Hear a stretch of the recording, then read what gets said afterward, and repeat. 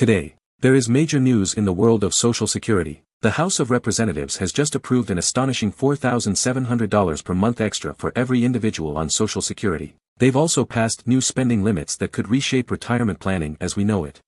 Whether you're a retiree or someone with disabilities, this boost is poised to make a massive difference in your financial well-being. We're talking about improved quality of life, enhanced access to healthcare, and the potential to retire more comfortably. Eligibility criteria will likely include factors such as your age, income level, and disability status. The specifics of eligibility will be outlined in the official legislation documents, so it's crucial to stay informed and review those guidelines carefully. Navigating the complex landscape of supplemental security income, SSI, approval can often feel like a marathon, with the entire process taking several months. It's a journey marked by meticulous documentation, medical assessments, and appeals, all while applicants grapple with their financial needs. However, there's a ray of hope amidst the wait. For those who have endured the arduous path of initial denial and successfully appealed to secure their SSI benefits, there's a compelling incentive. Back pay. This is the retroactive payment that covers the period from your initial application date to the date of your approval. It's a financial lifeline that can help ease the burden of the lengthy approval process. The timing of these crucial SSI payments hinges on an intriguing schedule tied to your birth date. If your birthday falls between the 1st and the 10th of the month, mark your calendar for the second Wednesday. That's when your SSI funds will hit your account. Similarly, individuals born between the 11th and the 20th of the month can anticipate their benefits on the third Wednesday, while those born between the 21st and the 31st will find their payment arriving on the fourth Wednesday of each month. For those seeking to manage their SSI benefits or requesting proof of income, the Social Security Administration's SSA official website, SSA.gov, offers a user-friendly platform. Here, you can effortlessly request proof of income and access comprehensive information regarding services provided by other government agencies. It's a valuable resource that simplifies administrative tasks related to your SSI benefits. Beyond the logistics of SSI payments and documentation, the Social Security Administration plays a pivotal role in supporting individuals with disabilities in accordance with the Americans with Disabilities Act, ADA. This multifaceted support includes financial and medical benefits aimed at ensuring a higher quality of life for those unable to work due to disabilities. Furthermore, the administration provides cash assistance for individuals with limited income who are dealing with disabilities or blindness. Families with children facing developmental and behavioral disabilities also receive financial aid to navigate the challenges associated with their conditions. Moreover, the Ticket to Work program, facilitated by the Social Security Administration, fosters career development for individuals with disabilities, empowering them to work toward financial independence. Lastly, there are ABLE accounts, a financial tool that allows eligible individuals to save up to $100,000 without jeopardizing their existing benefits, providing a means for financial security and autonomy.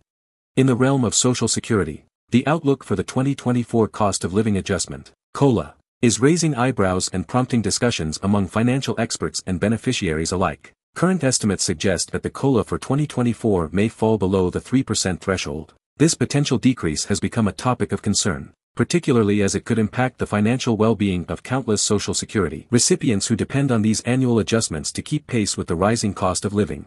What adds a layer of uncertainty to the situation is the possibility that there might not be any COLA adjustment at all next year. This is linked to the behavior of inflation. If inflation were to significantly slow down, it could potentially lead to the Consumer Price Index, CPI, falling into negative territory. This is significant because the COLA is closely tied to the CPI, and if it registers a negative value, it could translate into no COLA payable for the upcoming year. Such a situation underscores the importance of monitoring economic trends and policy changes that can affect the financial security of Social Security beneficiaries. Shifting our focus to the critical decision of when to claim Social Security benefits, the numbers tell a compelling story about American retirement planning. While it's widely understood that waiting until age 70 can maximize lifetime benefits, it's intriguing to note that only a fraction of Americans choose this optimal strategy. Recent research highlights that nearly all individuals aged 45 to 62 should consider waiting beyond age 65 to claim their benefits. An even more striking statistic reveals that a staggering 90% of individuals in this age group would likely benefit from delaying their claims until age 70.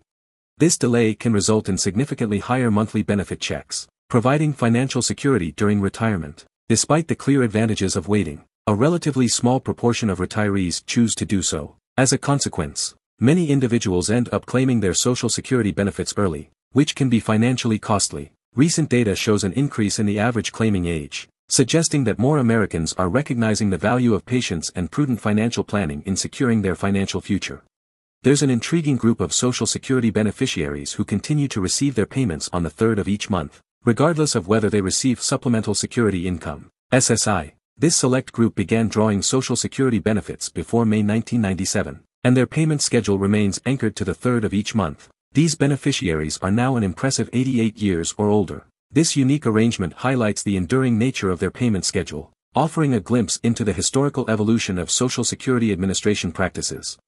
In the intricate landscape of Social Security benefits, a distinct and intriguing payment schedule emerges for those Americans who are recipients of both Supplemental Security Income, SSI, and Social Security benefits in tandem, while the conventional payment cycle sees beneficiaries receiving their payments on the second, third, or fourth Wednesday of the month. Individuals in this unique category experience a slight deviation from the norm. Their Social Security payments are thoughtfully timed to arrive on the third of each month, setting them apart from the standard schedule, this subtle variation reflects the administrative intricacies that arise when combining these two vital sources of financial support.